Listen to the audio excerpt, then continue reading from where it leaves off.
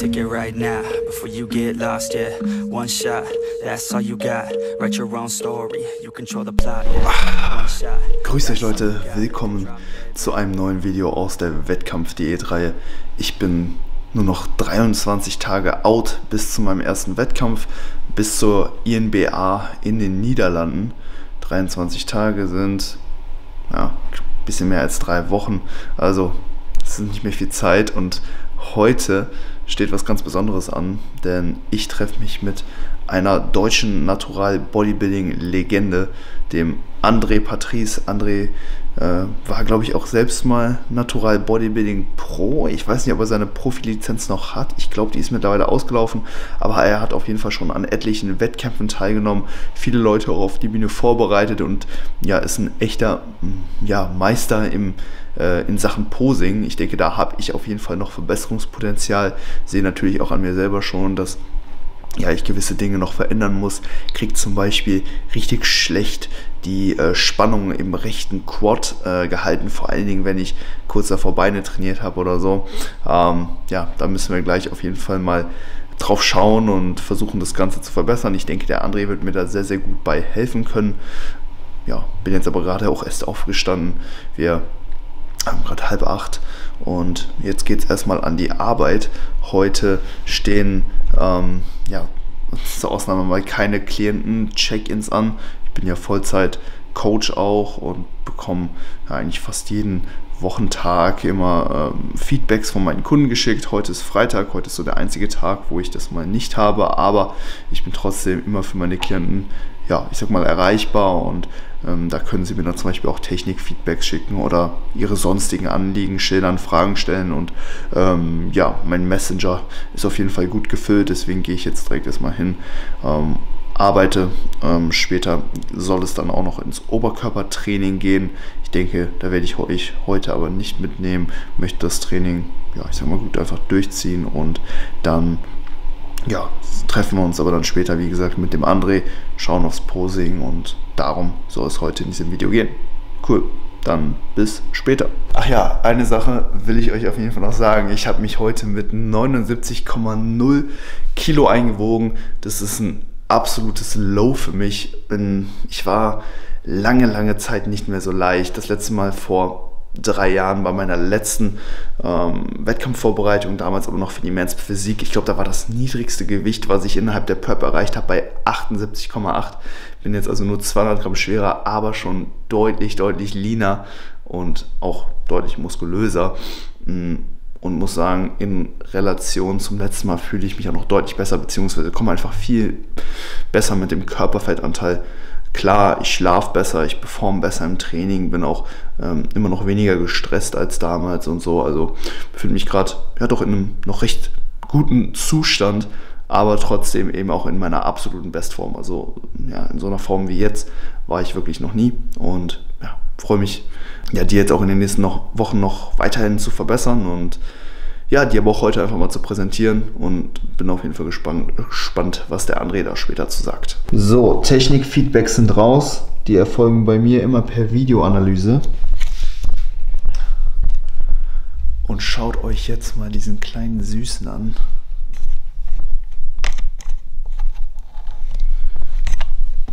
Das ist der Same, unser neues Familienmitglied. ist jetzt elf Wochen alt, eine kleine französische Bulldogge und er fragt sich, hey Papa, was machst du hier mit der Kamera? Na, alles gut, Sam? Ja. Richtig süßes Kärtchen. So, erste Mahlzeit des Tages um 10.30 Uhr. Hab, wie gesagt, gearbeitet, war noch mit dem Hund draußen, eingekauft und so. Das sind ja, 30 Gramm Haferflocken mit 200 Gramm gefrorenen Beeren und 50 Gramm hier von dem Elite Pro Komplex in Geschmack Vanilla. Sehr zu empfehlen. Ja, geile Mahlzeit. Sorry für die Soundkulisse, der Saugroboter ist hier im Hintergrund tätig. Und ja, ihr wisst ja, wenn ihr etwas auf ESN-Produkte sparen wollt, dann könnt ihr wie immer den Code HYPER benutzen.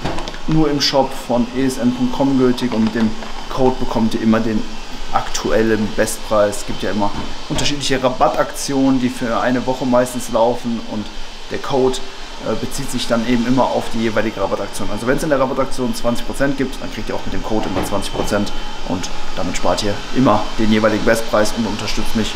So, ich bin jetzt hier beim André. André, komm mal rüber. Ich glaube, das ist so weitwinklig, das reicht fast, ja, oder? das sollte ja. reichen. Ja. Ähm, genau, hey, wir haben jetzt hier, hier zwei. Podcast-Episoden aufgenommen. Ja. Die erste Episode ging so ein bisschen um das Thema ja, Mindset im Natural Bodybuilding. Richtig, richtig geile Episode. Ja, also, safe. ähm, die müsst ihr euch auf jeden Fall reinziehen. Die wird auch schon online sein, wenn dieses Video rauskommt. Ich werde ähm, die Episode unten in, den, in der Beschreibung verlinken. Äh, der zweite Teil, das war ein kleines QA. Das kommt dann ein bisschen zeitverzögert, aber War aber auch nice. War aber also, auch nice. äh, Wird auf jeden Fall gute lohnenswert, sich das ne? anzuhören. Ja, würde ich auch sagen. Und ja, ich bin ja jetzt, wie gesagt, drei Wochen out bis zu meinem ersten Warm-up-Wettkampf und werde mich jetzt vom André begutachten lassen. Wie schon angekündigt, ne, André ist ja auch Coach, auch Ja. Juror, Judge, ne, also Ja. der weiß genau, worauf es ankommt und wird mir jetzt auch noch ein paar Vermutet man Tipps zumindest, geben. ne, ne? ob es wirklich so ist. Bin auf jeden Fall sehr Ja. gespannt, was der André sagt. Er hat auch klar, eben schon im Podcast äh, durchsickern lassen, dass er kein Blatt vor den Mund nehmen wird. Ja. Also der wird knallhart mit mir sein. Einfach ehrlich, Äh, nicht knallhart. Ich bin einfach nur ehrlich halt. Ne? Wenn ich Stärken sehe, dann, dann lobe ich. Wenn ich Schwächen sehe, dann kritisiere ich natürlich. Ne? Wenn Verbesserungspotenzial da ist und ich der Meinung bin, ist ja auch immer nur subjektiv. Ne? Mhm. Manche finden Posen so schöner, ich finde Posen so schöner. Dann natürlich meine, meine ganz eigene Art und Weise, auch das Posen zu vermitteln und so. Und das ist natürlich ja. Aber da bin ich immer ehrlich. Also das, was ich gut finde, sage ich dann auch, was ich gut finde. Was ich nicht so gut finde, sage ich, was ich nicht so gut finde. Super. Und Hey. ich sage auch gerne, was ich anders machen würde Ja. dann. Ich denke, damit kann ich auch am meisten anfangen, ne? Ja. wenn da wirklich ein ehrliches Feedback kommt und da einem nicht nur immer Honig ums Maul gesch Ja. äh, wird, ne? was viele natürlich auch immer gern machen, wenn die wissen, ey, der ist in der Contest Prep und so, Ja. ne? dann wird dann immer sehr gut Ja, zugeredet nee, ich und bin so. ehrlich, aber das ist auch, also da bin ich auch wieder ehrlich. Es gibt halt Athleten, die sind einfach gut, Mann. Und Mhm. dann, wenn die dann gut sind, bin ich ganz ehrlich, ich bin dann auch schon manchmal schnell fasziniert. Mhm. Also ne, so vom Sepp oder so, wenn er sich halt, hey, da gibt es halt wenig zu bemängeln. Da gibt es Ja. halt immer, irgendwas gibt es immer zu bemängeln, aber halt schon doch deutlich weniger. Ne? Und dann kann das manchmal schon so wirken, auch als würde ich da halt Honig ums Maul schmieren wollen, aber da bin ich auch einfach nur ehrlich. Ne? Ja, wenn der klar. Athlet gut ist, ist er echt gut. Ja. Ja, dann bin ich beeindruckt und dann, genau. Aber gucken wir mal, wie du aussiehst. Gehen wir mal rüber. Yep. Und dann, ja, Let's do viel this. Spaß. So, wie, wie groß bist du? 1,81. 1,81, 79,9 Kilo haben wir. Für dopingfreies Bodybuilding, Körpergröße minus 100 ist schon immer stabil, wenn man dann einen gewissen geringen Körperfettanteil hat, ne? Mhm. Ja. So, der sieht schon richtig, richtig nice aus. Auf jeden Fall, also wirklich, ich bin positiv überrascht. Was mir gerade schon so ein bisschen aufgefallen ist beim drüber schauen, du hast wirklich Schwierigkeiten, Druck in die Quads zu bekommen. Ne? Ähm, eventuell würde ich halt natürlich wirklich rumexperimentieren mit der Fußposition, Ja. Bis du wirklich Druck reinbekommst. Und jetzt bin ich sogar tendenziell so, dass ich fast sagen würde, steh mal auch was enger, vielleicht damit auch deine Adduktoren leicht schließen, weil dann wirken die Beine oftmals massiver. Und jetzt hast du immer noch so eine leichte Lücke dazwischen. Ich will fast noch ein bisschen enger stehen, ja, wirklich, dass die geschlossen sind. Einfach wirklich tendenziell rumexperimentieren. Siehst du, jetzt hast du schon mehr Druck drin. Mhm. Der nächste Punkt ist, du rotierst von Anfang an die Füße schon sehr weit nach außen. Ja. Und du ziehst auch die Fußspitzen an. Ne? Darum, das ist so, du wirst für dich irgendwann einen Aha-Moment hoffentlich haben und sagen, ah, so kriege ich Druck in die Beine. Ja? Aber in der Regel, also meines Empfindens nach, ist es meistens so, ich versuche die Füße eher neutral noch zu halten auch. Genau. Und dann habe ich nämlich auch Potenzial, über den Boden so ein bisschen Druck nach außen zu geben. Und dann kriege ich den Rektus richtig tief. Wie so ein Teppich, den du in der Mitte so auseinanderziehen willst, weißt du? Weil wenn du schon so anfängst, dann, dann kannst du nach außen gar keinen Druck mehr aufbauen. Ja. Wenn du aber neutral stehst, dann hast du Potenzial, bis die Füße weit außen gerutscht sind irgendwann, Ja. ja. weil du so viel Druck aufbaust. Dann stellst du dich schnell wieder neutral, schützt einmal durch und fängst von vorne wieder. Mhm. Ja? Also ich versuche wirklich am Anfang nicht direkt boom boom zu stehen, sondern ein bisschen die Adduktoren schließen zu lassen. Genau. Aber grundsätzlich muskulär echt schon ziemlich, ziemlich nice. Ja, wirklich. Sieht richtig gut aus. Jetzt kriegst du auch ein bisschen mehr Druck in die Beine. Manchmal bedarf das einfach so ein bisschen Zeit. Ne? Latt von vorne kommt richtig gut, finde ich. Ne, Schulter flacht ein bisschen ab, aber wenn da mal ein bisschen Pump drin ist, du mal ein bisschen voller bist, so. Ne? Machen wir eine Doppel Bizeps. Mhm. Ja, Druck in die Beine. Schön, schön. Also wirklich proportional, echt schön so. Könnte halt überall mehr Masse sein, kann immer mehr Masse sein. Aber es ist jetzt nicht so zum Beispiel, dass du einen schwachen Latt hast oder so. Oder schwache Arme so. Ich finde deine Arme sogar richtig schön. Du hast so ein bisschen Armgenetik wie ich tatsächlich. Ne, weil dir kommen hier richtig schön, der Bizeps zeichnet sich ab. Du hast hier den Bizepssplit drauf. Die, die Trizepsfasern kommen hier. Ne, du hast genau die gleiche Muskelzeichnung auch an dem Arm äh, wie ich selber. Und das ist richtig gut für den Double Bizeps von vorne. Ne? Lange Posen halten klappt auch. Schnauf wie ein Wildpferd, aber gut. Ne? Lens Spread von vorn. Mhm. Druck in die Beine. Ja. Was ich persönlich jetzt zum Beispiel auch gar nicht mag, ne, also das gerade schon gesagt, subjektives Befinden, Empfinden ist ähm, äh, dieses Ruckartige mhm. zu posen und so. Ne? Mhm. Mach den Latt auf, mach da jetzt keine große Schau draus oder so. Das ist so, das kann sogar, also wie gesagt, es kann sein, dass ein Judge das sogar als unsympathisch empfindet. Was macht der da? Okay. Ne? Stell dich hin, Latt auf, Frontlatt, nicht lächeln, ne? nonverbale Kommunikation mit den Judges. Ne? gucken, wer guckt mich an, jetzt hast du es wieder gemacht, weißt du? ja. Da hast du es auch drin. Und wenn dir das natürlich zusagt, warum jeder hat sein, sein individuelles Posing am Ende halt. Ne? Das muss jeder selber wissen. Ich persönlich würde es nicht machen, finde es nicht so cool. Ja, Beine. Aber auch Let's Spread von vorne allgemein bist du sehr proportional. Deine Brust fällt mir so schon auf, ohne dass du eine Side Chest gemacht hast, sehr voluminös. Ne? Relax. Wir eine Side Chest. Aber ich würde fast sagen, Brust ist so auf jeden Fall mit deiner stärksten Muskelpartie. Ja, auf jeden Fall krass. Sick. Sehr schön gepostet. Leg das Knie ein bisschen weiter drüber. Ja, sieht man, dass du mal ein Posing-Seminar belegt hast, auf jeden Fall. Wirklich jetzt, ne? Das ist richtig schön. Also einfach für die Zuschauer vielleicht finde ich bei der Sidechest super wichtig, dass die Schultern auf einer Höhe bleiben. Ne? Man macht nicht so, so mhm. das sieht nicht so schön aus, wenn man auf einer Höhe bleibt mit den Schultern die hintere Schulter, die, wo man die Brust flext, und das Schulterblatt weit vorsteht, die jetzt auch auf der Kamera, wirkt er viel breiter direkt. Man hat so eine Silhouette. Ne? Das bedeutet so, von links nach rechts wirkt man einfach sehr massiv, wenn man sich verhältnismäßig frontal drehen kann, aber in der Hüfte trotzdem seitlich bleibt. Das ist eine Illusion, die man erzeugt. Man wirkt viel massiver, weil hier ist breit auf einmal, weil man diese Diagonale hat, und hier bleibt es trotzdem sehr schlank. Das Knie drüberlegen, genau das gleiche. Dann guckt man in einem anderen Winkel aufs Bein. Auch die Einschnitte in den Beinen hier, die gefallen mir wirklich richtig gut. Ne? Die laterale Faszie kann man richtig schön sehen, die ganzen Fasern wieder durchgehen. Beinbeuger ist halt schwach. Ne? Hm. Arme sind okay, Brust ist sehr stark halt einfach und darum flachen jetzt die Arme, Schulter so ein bisschen ab. Aber sieht sehr schön aus, wirklich sehr schön gepostet. Seitlich Trizeps müsste eigentlich dann auch stark sein, weil ich kann euch das sagen, ja, also ich, mit Abstand bis jetzt die stärkste Pose, die ich dann von dir gesehen habe, tatsächlich. Bizeps teilt sich unnormal ab. Richtig schön. Trizeps ist richtig streifig. Der Bauch ist richtig flach. Nice, Mann. Ne? Blutstreif haben wir noch nicht, aber das ist auch nicht immer so wichtig. Das ist nicht so wichtig. Wie gesagt, bis zur GmbF wirst du den echt frei haben. Bin ich fest von überzeugt. Und das Tolle ist, relax mal kurz, genau. Bleib ruhig aber seitlich stehen, damit ich noch so ein bisschen zeigen und erklären kann. Das Tolle ist jetzt, wenn man eine dicke Titte hat, wenn man eine richtig pralle Brust hat, sieht eine seitliche Trizepspose mal göttlich aus. Weil hier genau das Gleiche, du versuchst dich im Oberkörper leicht einzudrehen, der Arm kommt von hinten, ne, greift von unten rein. Genau, ich würde auch nicht hinter das Handgelenk greifen. Ich würde immer, Posing-Seminar, nichts gelernt, von unten eine Suppenkelle machen mit der Hand, wo ihr den Trizeps flext, weil dann ist man viel mobiler im Schultergelenk. Also du kannst jetzt das Schultergelenk wirklich nach hinten bringen. Dadurch, wenn du es hinten in der Pfanne hältst, hast du wieder hier mehr, viel mehr Diagonale. Mhm. Wichtig ist, es ist eine seitliche Trizeps. Der Trizeps muss zu sehen bleiben. Das bedeutet, hier bleibst du so seitlich stehen, die Schulter bleibt hinten und hier schiebst du das Schulterblatt wieder vor. Dadurch erzeugst du einen Look, als würdest du dich eindrehen. Drehst dich aber nicht ein. Weil wir wollen ja den Trizeps sehen. Wenn du dich eindrehst in der seitlichen Trizeps, sieht keiner mehr deinen Trizeps. Das bedeutet, hier bleibst du seitlich stehen und die Schulter schiebst du jetzt einfach nur vor, dass man ein bisschen Titte sieht. Und das ist das, was ich meinte, hat man eine krasse Titte, wenn hinten die Brust noch so rumkommt, die schön streifig ist, wie bei dir jetzt schon. Ne? Das sieht richtig gut aus. Das sieht wirklich richtig gut aus. Ne? Deine seitliche Bauchmuskulatur auch sehr stark ausgeprägte Serratus. Ne? Genau. Beinbeuger, jetzt leg den mal leicht drüber nicht anspannen. Beinbeuger in Beinbeugenpose nicht anspannen, sondern nur drück, leg den nur drüber und fake den. Verstehst du? Lass den locker, spann den mal nicht an, lass den mal richtig hängen. Lass den richtig hängen, locker hängen und nur das Knie da drüber legen, richtig. Dass du richtig mit dem Medials vom anderen Bein richtig den Beinbeuger andrückst. Ne? Weil wenn man den anspannt, dann verliert der an Volumen. Ich würde mich sonst jetzt fast Auf ausziehen und das einmal zeigen. Den Glut kriegst du Druck rein, indem du dann am Ende das Becken wieder vorschiebst. Genau. Ne? Das bedeutet, du stehst dann so ein bisschen auf. Kriegst du mich hier mit drauf? Ja? Kann man hier Oberkörper und Blut sehen? So? Ja?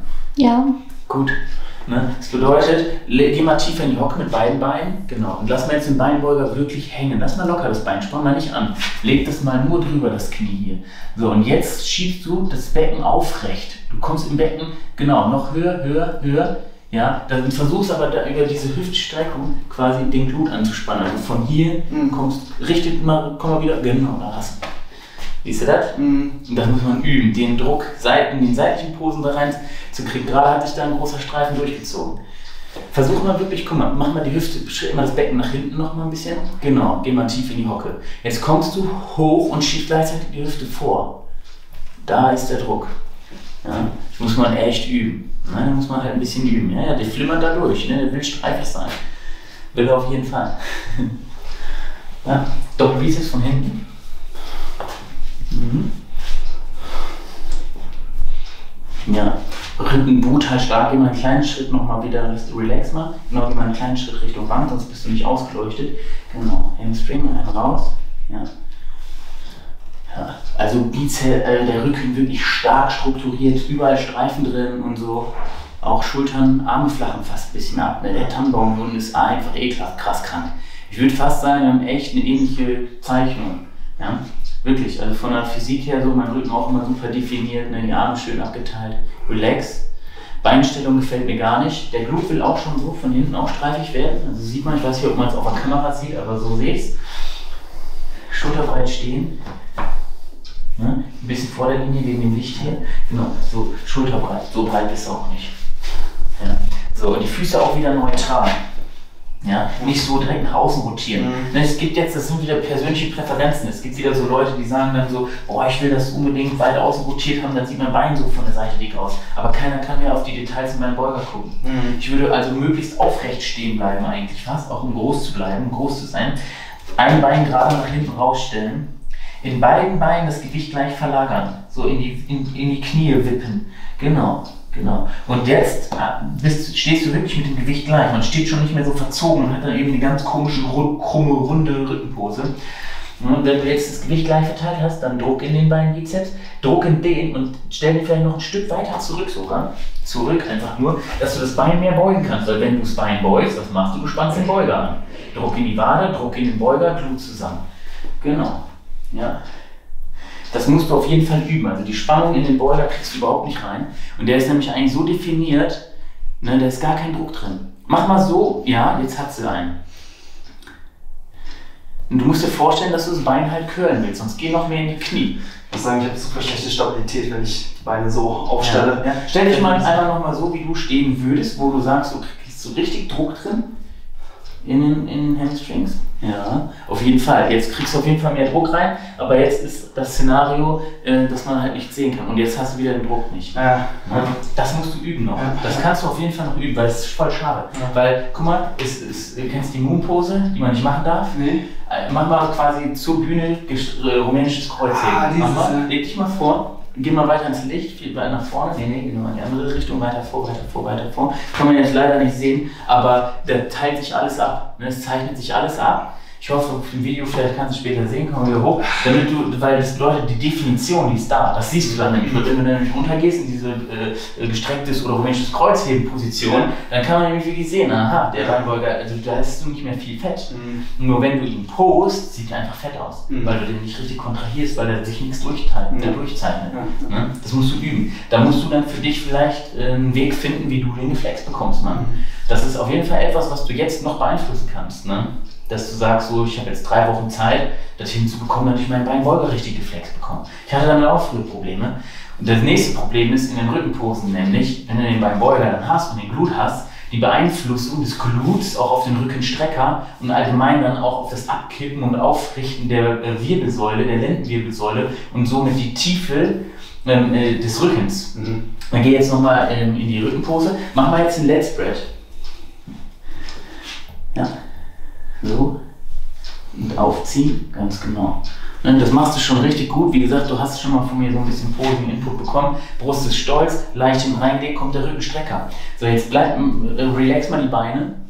Also steh mal, nein, steh mal ganz neutral, als würdest du im Line-Up stehen, ohne die Beine anzuspannen. Jetzt zieh mal den Lat auf, mach die Brust stolz, genau, und leg dich hinten rein. Ne? Und meistens hat man dann hier viel mehr Druck noch, Mhm. weil sobald man nämlich diese ischiochorale Muskulatur mit einbezieht, den Glut und die Beinrückseite, dann verliert man so ein bisschen Spannung im unteren Rücken. Ne? Mhm. Das ist richtig schwer. Ich habe damit auch richtig Probleme persönlich, zum Beispiel beim Posen.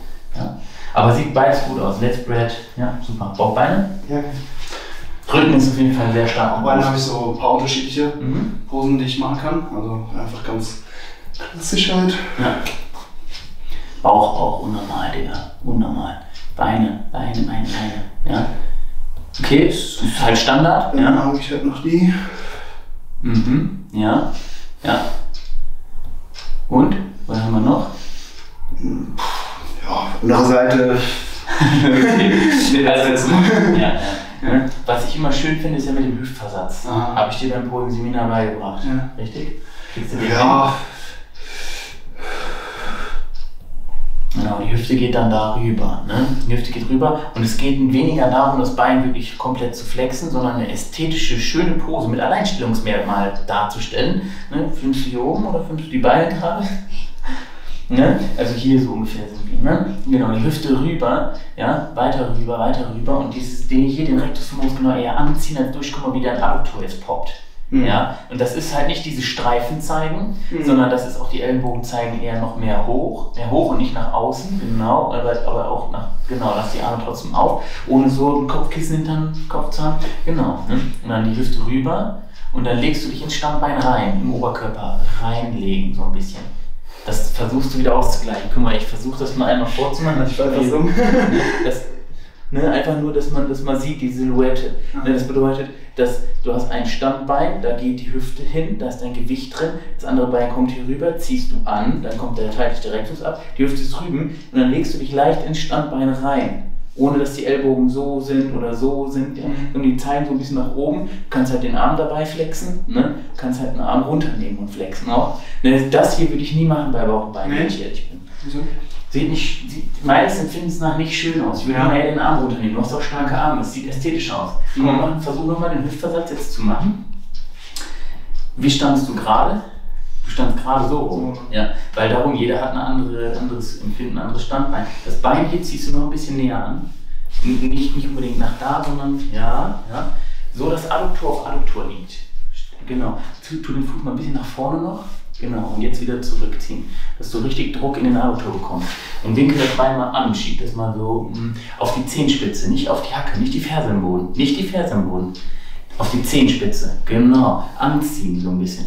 Die Hüfte rüber, rüber. Und dann legst du dich hier rein, Digga. Da legst du dich rein. Und dieses Reinlegen hier ist einfach nicht einfach, ne?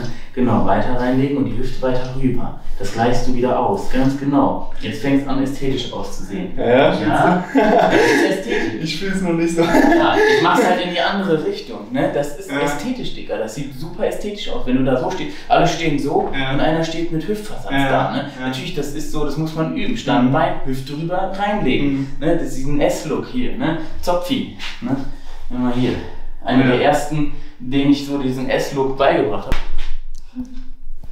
Ich mag halt diesen ästhetischen Look. Ne? Und von da aus nämlich kann man dann hingehen und auch Streifen zeigen. Mhm. Aber das ist natürlich jetzt für dich für drei Wochen auch vielleicht zu viel Input dann auch. Ne, Aber ich würde also zum Beispiel die ästhetische Bauch und Beine machen und dann kannst du den Fuß hier vorziehen Mhm. und durchdrücken. Mhm. Ne, und das ist so killer, wenn hinten noch der Glut kommt und leicht streifig ist. Mhm. Gibt es hier irgendwo ein Bild von mir, wo ich das so mache? Nee.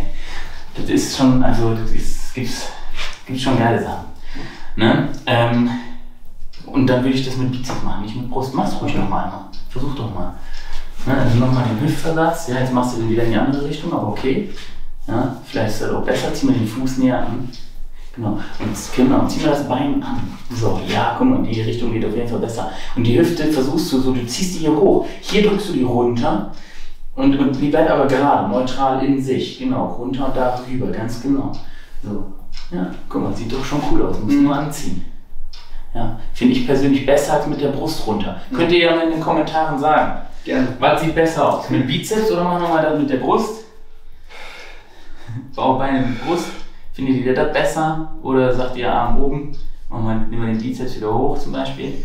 Zack. Ne? Ich kann ja auch sagen, warum ich es schöner finde, es ist irgendwie offener. Man Mhm. sieht mehr. Mit Mhm. dem Arm verdeckst du so das Ja. Bein, den Bauch so ein bisschen und dann Brust, halt Brust ganz cool, eh hier kommt halt die Ader ganz gut. Schulter und so, genau. Ja. Aber dann kommt ja noch die Most Muscular, das ist ja noch. Will ich? Ja, mach mal, hau mal raus. Geh mal einen Schritt nach hinten, weil sonst Licht. Ja. Ne? Richtig Druck rein. Ja, Beine, genau. Und dann Schritt vor und mach die Crab. Immer. Ich kann keine Crap, Junge.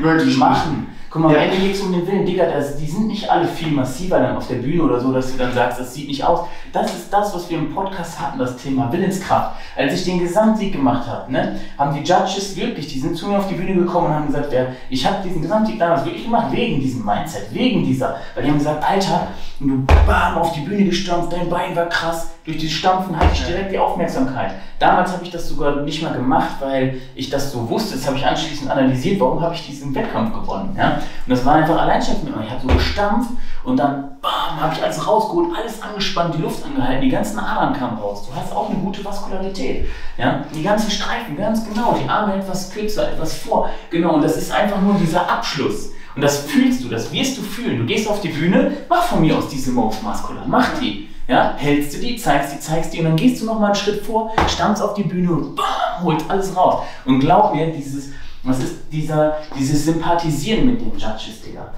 Das ist so dieses, boah, wow, hast du gesehen, der will nochmal, genau, guck dir deine Bruststreifen an und so. Guck mal, wie prall du wirst, wenn du die lange hältst. Halt die mal jetzt 5, 6, 7 Sekunden. Guck mal, wie deine Venen rauspoppen und so. Most muscular.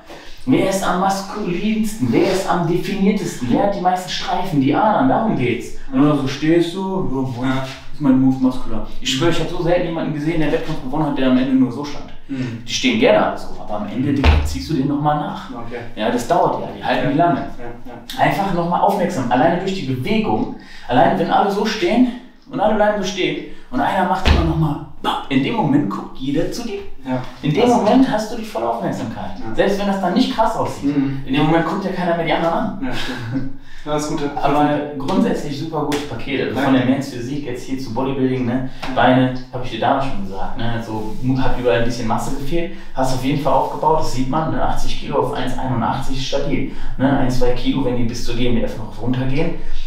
Unnormal. Also mehr wird auch nicht gehen. Ich würde dir nicht empfehlen, noch viel weiter runter zu gehen, vom Gewicht auch am Ende, weil werden dir vielleicht andere anderes sagen, aber ich sage dir warum. Weil wenn du am Ende dann die Fülle verlierst und so, Mhm. du bist schon sehr gut definiert jetzt. Mhm. Und dann hast, bringst du nicht mehr den Look. Mhm. Weil du bist jetzt schon so, also wie gesagt, ein oder zwei Kilo, dann ist auch der Glut da. Bin ich fest von überzeugt.